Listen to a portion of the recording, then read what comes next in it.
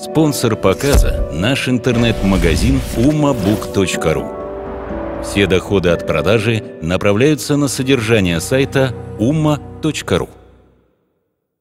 Человек совершил один раз в жизни хадж. Он хочет и второй раз, и третий, и пятый. Ну и периодически люди, когда вы спросите у них, сколько, ну то есть в хадже они были, да, они скажут там 8 раз, 6 раз, кто скажет 10 раз.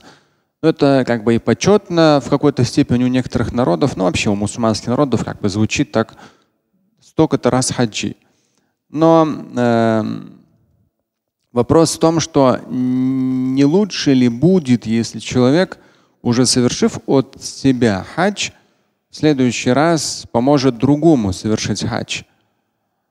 Сложно сказать. Я в данном случае не буду на что-то акцент делать однозначно, потому что здесь можно процитировать одно, процитировать другое с разными акцентами. Но хадж – это э, в Коране четко прописано то, что сабиля. То есть это тот столб, основополагающий э, в религиозной практике мусульманина, мусульманки, который только совершается или становится обязательным только при должном материальном достатке. То есть в Коране говорится для тех, кто сможет туда отправиться. Ученые уже говорят, что здесь подразумевается в первую очередь материальный достаток человека. Если человек, человек материально может, то да, это уже закрепляется за ним как обязательное. А, поэтому человек, который не может туда отправиться, но здесь другой нюанс есть. Да, есть люди, которые прошли через советский период. Я даже знаю, вот недавно один родственник, он, э, ему за 70 лет, он так особо и намаз, там пост, ну как бы не из его истории, хотя не пьет, не курит, всегда был порядочным человеком, никогда не пил, не курил. То есть хороший человек, хорошо отработал, хорошо вышел на пенсию, там смотрит за внуками, все хорошо. Вредных привычек, какой-то растерянности, потерянности, ни разгильдяй, ни бездельник. Но религиозной практики не было. И вот дети его организовались э, отправить его в хадж. Сказали, вот, ну как ты думаешь, да? Ну ему это не прямо такие совсем легко самому деньги эти оплатить. Но в то же время может. А в данном случае дети проявили инициативу. Как вот, если ты поедешь хадж. И интересно то, что я вот, э, имел возможность издалека немного анализировать ситуацию. Человек, ну, прямо вот начал там молитвенные, ну, просто я, потому что у него книжка моя оказалась, как раз мусульманская молитвенная практика.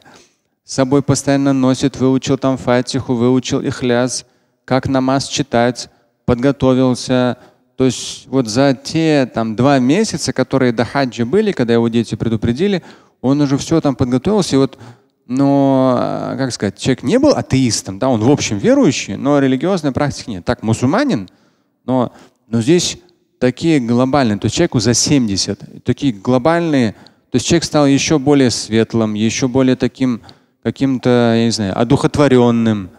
Э, соглашусь то, что люди, которые прошли через советский период и которые сейчас находятся на пенсии, ну, по сути дела, там 100-200 долларов, и им довольно сложно отправиться в хадж, и они очень этого хотели бы, и они никогда там не были, то это, конечно, ну, я думаю, очень благостно, если такого человека отправить, тем более, если это наш родственник, то это будет очень благостно.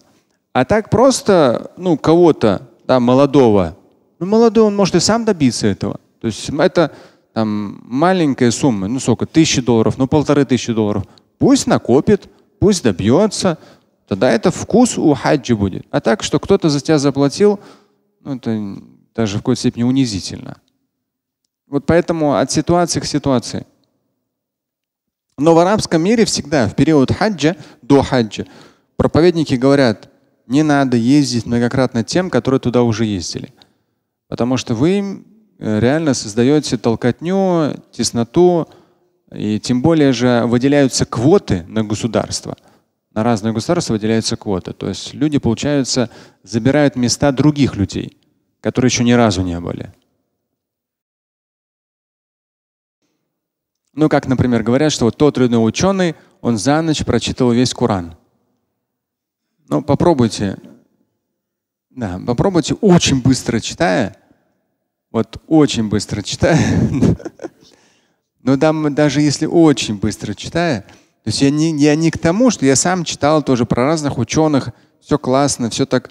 Но это как наподобие, что Наполеон спал там 4 часа в сутки. Может быть, один день он так спал перед какой-то битвой, но постоянно спать, это значит, ты умрешь. А организм не выдержит.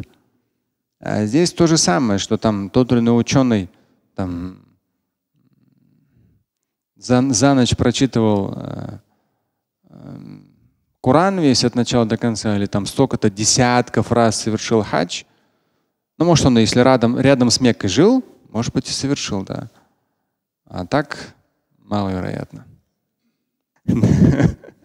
Но есть просто, человек процитировал, есть хадисы, где говорится, что если ты такую-то суру столько-то раз прочитаешь, то подобно как прочитал весь Коран.